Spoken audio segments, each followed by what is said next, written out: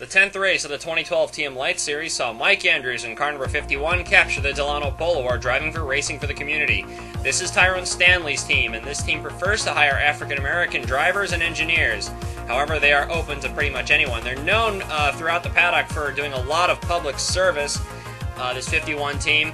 Uh, they haven't exactly been doing a lot of public service on the racetrack, or at least Mike Andrews hasn't. He uh, had a very messy start to the season, but looks like he's cleaned up his act this week in the uh, Windy City Subs car. But anyway, that's uh, Nathan Ferguson in that red and black number four up front. That's Claire Aussier in the 28. Uh, Brandon Lario in the 33 car. And Andrews looks like he's beginning to stretch his lead as they go three wide behind him. And after a couple of laps, you'll notice that he's pulled out a very substantial lead over Ferguson. This is just the kind of confidence boost that Mike Andrews needs, and this could vault him into a TM Master Cup Series drive in the future if he keeps this pace up. A little further back in the field, points leader Ike Durbin in car number 08 blows up early in the race, and he would be the first retirement of the day. Uh, Ike Durbin is not related to the uh, former Master Cup champion Tony Durbin. He has not won a TM Lights race, but he hopes to be full time in Master Cup Series next year. John Jefferson in uh, car number uh, 37 is going to be the first caution in the event when Claire Aussier in the 28 sh- shoves up right into him. Claire Aussier and Jefferson have both been wrecking balls, and so is that 58 car that just hammered into the back of the 37 car for no good reason. That is Afzal Tamid. Lang Chung Gun, car number 6, had mechanical problems under that yellow. He pulled the car into the pits, and they immediately pulled car number 6 behind the wall, and his day was done. Uh, Justin Robinson and Troy Adams stayed out and put the entire field a lap down due to a abnormally fast pace speed. I don't really know why uh, the pace car is going as fast as it is, but you'll also notice Martin Baltno Jr. in the 96 and Tiffany Matthews did likewise. So here we go. Uh, looks like Robinson's got a pretty good start. Nathan Ferguson off the lead lap due to um, what I can only say is some uh, rather questionable pace car antics. But anyway, Robinson lets Ferguson go. Unit 11 driver has not won a TM Lights race yet. Uh, Troy Adams won earlier in the year at Portland in uh, car number 9, and he's hoping to take his second win here today, as I think Martin Baltno may have just hit the wall in the back. Uh, Robinson's going to be able to get around Nathan Ferguson, and he hopes to have a run on Justin Robinson in car number 11.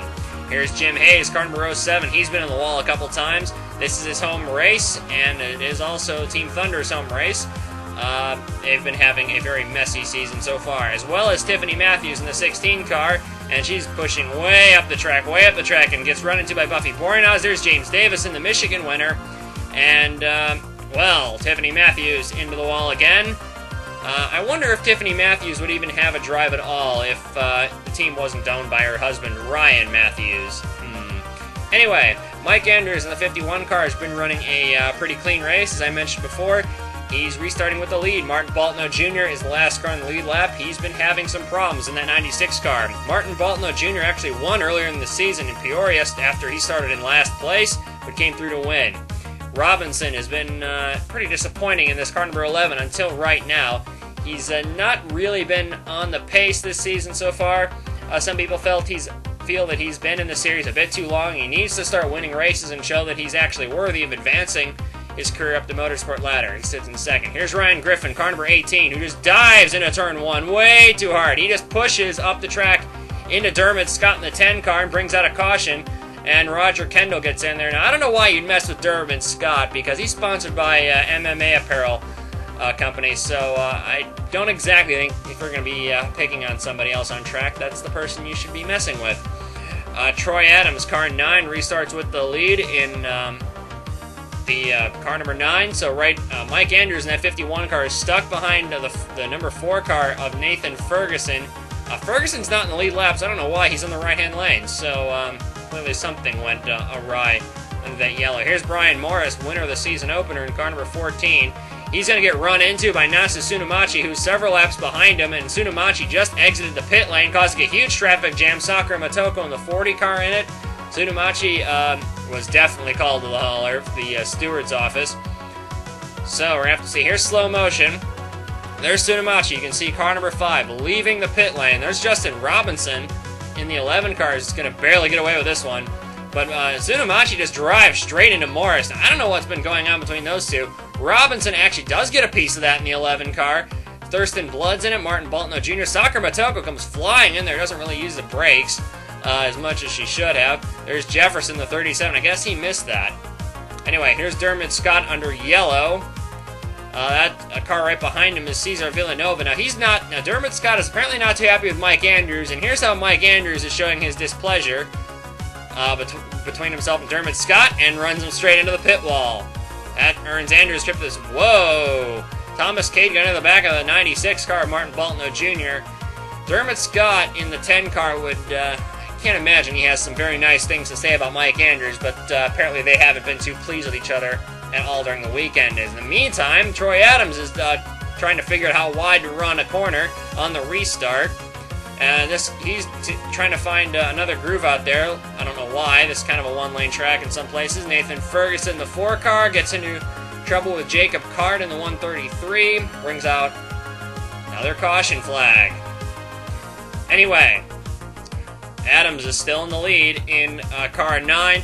Uh, Mike Andrews and Justin Robinson are the only other cars on the lead lap. Robinson, though, is mired back in traffic. Mike Andrews in that 51 car probably going to have some uh, uh, qu uh, interesting questions to answer after the race. Axel Andersson, the 997 car, is running in fourth. He's off the lead lap. He's only one lap down, but uh, he's having a pretty solid run considering, uh, well, this is probably the most forgettable car in the series. It's just a gray car with a number on it. Uh, and he's been kind of having a forgettable season. Anyway, Mike Andrews in the 51. He's trying to run down Mark Blackwell. It's the second of the two Unit 11 cars. And Andersson in the 997. Whoa, Mike Andrews way out of, uh, off the groove. So, looks like uh, some of the adjustments they might have made uh, haven't really worked, or the fact that all the damage he's gotten to the car. Here's uh, anyway. Here's Andrea Canassa getting wrecked by Eric Molina on the 21. Eric Molina is kind of had a nothing season so far, and Andrea Canassa really didn't need that. Uh, Canassa has not really been known for doing anything other than crashing in this series anyway. Uh, after the restart, here's Cameron Taylor in the 68 car as he continues to be himself and uh, trying to run over people. Uh, hometown hometown have not worked too well for Cameron Taylor. He was kind of a wrecking ball in uh. Well, here is uh, Brandon Lario getting run into the wall by Ryan Griffin. Now that was uncalled for. Uh, the 18 car was called to the steward's office, and uh, Larry is not uh, terribly happy, I can imagine, with uh, Ryan Griffin. Anyway, on the restart, Troy Adams, surprise, surprise, still in the lead. Uh, and then there's Justin Robinson, in the 11 car, who's a little closer than he has been. We'll have to see if Robinson has anything for Troy Adams in uh, that 9 car. Adams has been pretty dominant so far today and uh, the Australian really hoping to solidify his Master Cup Series career. Here, anyway, here's been here's Bobby Dell in the 98 car. He's been pitting endlessly in order to not get pulled off the track for being too slow. There's something wrong with his 98 car. Marcus Leonard did the same thing at Salem several years ago, wound up 38 laps down, but still ended up finishing the race. Justin Robinson, the 11 car, is actually faster than Troy Adams right now. So, car number 11 looks like he's going to be able to make a race out of this. Unit 11 Motorsports uh, has not really won a race. Whoa, Troy Adams way up in the marbles out in no man's land. Uh, Unit 11 Motorsports is, I don't think they've won a race. So, um, they're really, really working hard on it with um, their primary car, Justin Robinson. Uh, he's closing in on Troy Adams. It looks like Adams may have just slipped up just a little bit. And yes, you see right here, the 11 car is right on Troy Adams' tail. Looks like Adams just gets away from him a little bit at the end of the straightaway. Uh, Robinson, maybe he's going to go for the lead, or maybe he's going to sit back and ride, as Mike Andrews is way out in no man's land, as you may have seen in the background in that blue and yellow 51. Anyway, you see Troy Adams way going wide. He just blew that corner. Robinson to the lead in car number 11. We're about halfway through. And uh, Robinson takes over the lead, and Adams dropping way back. So Robinson now comes on lap cars, and he uh, lets off very, very early.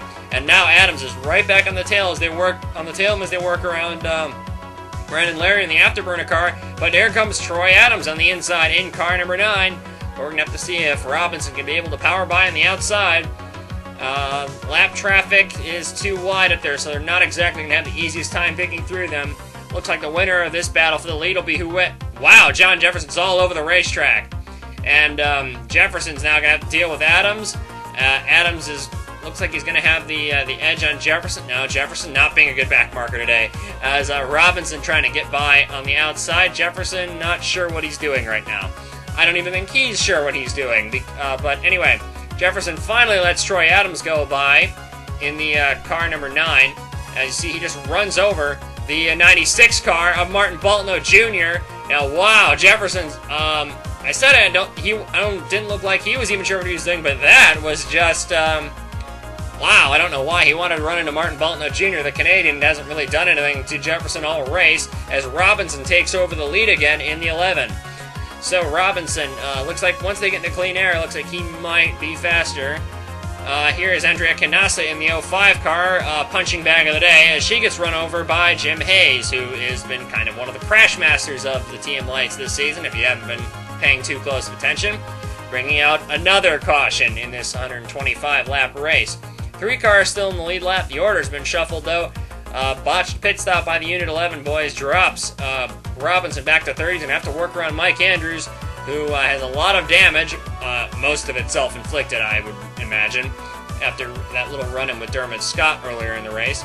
But anyway, here is Robinson in the 11 car trying to get around Andrews, and Mike Andrews is racing him for position, and he doesn't feel like rolling over and playing dead. Uh, in other words, he's not exactly making Robinson's life easy. Here's uh, Ryan Griffin doing what he does best, um, running into people. Looks like he runs into Zach Gott, and looks like Bernard Strauss might be next on his hit list.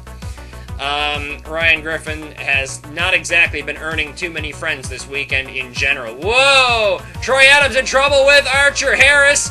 Now, I don't know why Troy Adams felt he needed to race that hard around a lap car because he had a pretty substantial lead, and he turns himself in front of the 79 car, um, and uh, sort of brought out a caution that he didn't need. Well, he's sort of setting himself up, but uh, for Mike Andrews to have another run at him, and when you got John Jefferson on the inside, that doesn't exactly play too well because Jefferson's been uh, all over the place today as well. Justin Robinson did not get a very good restart. Mike Andrews, though, in that 51 car, even though the stewards are going to be uh, wanting to talk to him later, looks like he. oh, never mind. Mike Andrews having a bit of a problem there. Looks like he uh, got a little loose coming off three and four. And uh, Canassa and Jefferson are going to make Adams' life as easy as possible. That's a shock. But there's Claire Aussier in the 28 car, is also a bit of a wrecking ball. Here's uh, Joseph Cummings in the 04 and Nathan Ferguson in the 4. They've been going at it a little bit today. And uh, they finally take each other into the wall on lap 107 of 125. Here we go again. Another restart. It's not exactly what uh, Troy Adams wanted to see. Uh, you saw on the front straightaway, Cesar Villanova was around. Uh, he had a problem, mechanical problem, and slowed suddenly on the front straightaway, and Roger Kendall and the just ran straight into the back of him, uh, ending Kendall's day. Um, probably taking him out of uh, everyone else's misery. Anyway, Claire Aussier goes by the, uh, the leader, Troy Adams, Mike Andrews second, and Justin Robinson sitting in third. Troy Adams hoping to pull away from Mike Andrews as quickly as possible in uh, car number 9. And looks like Troy Adams is going to have a pretty easy way home. And Mike Andrews is not really going to have anything for him. Troy Adams takes his second TM Lights win of the season. Coming home second, Mike Andrews, Justin Robinson third. Those are the only three cars on the lead lap. There were no cars that finished one lap down. Archer Harris uh, came home a fairly solid fourth place. Axel Andersson, solid run today. Cameron Taylor uh, didn't do what he did at Peterborough, which is run into everything in sight, so uh, looks like he may be uh, slowly outgrowing the Caution Taylor nickname. Zach Gott in the car 71 in a solid day. Martin Baltno Jr. in the 96 car is uh, con- uh, continually having uh, good performances. The former ROL champion. And Nathan Ferguson, car number 4. He has two wins on the season so far. This is what he needed. Jacob Carden in the 133 had a good run, along with Jim Hayes, even though Hayes seemed to be kind of on a rampage. And the punching bag of the day, Andrea Canassa came home in 19th place. John Jefferson in car number 37. There are some reports that he may get replaced in the MRD car. Thurston Blood, last year's champion, took home the final points paying position. He came home in 20th place, driving for PSI. And here are the championship points as they leave Ohio. Troy Adams has solidified his lead in the championship. Ike Durbin has yet to win a race still. Sakura Motoko in car number 40. Andrea Canassa sits fourth in the championship despite uh, being run over by everything in everything in sight today, seemingly. Nathan Ferguson, car number four, uh, continues to impress, along with uh, Ali Collada, who's one of the surprises of this season, I believe. I think this season was sort of a uh, last chance for Collada, who's she's one of those drivers that's been in TM Lights for a very long time. Hasn't really had a whole lot of success until this season. Mike Andrews has had sort of an up and down TM Lights career. Archer Harris uh, in the 79 car had a solid uh, has had a solid season. Brian Morris in the 14 won the season opener, and of course Thomas Cade, sort of an uh, underdog performer in car number 15. The TM Light Series will be back in action at the Grand Detour of Southern Illinois near Quincy for round 11.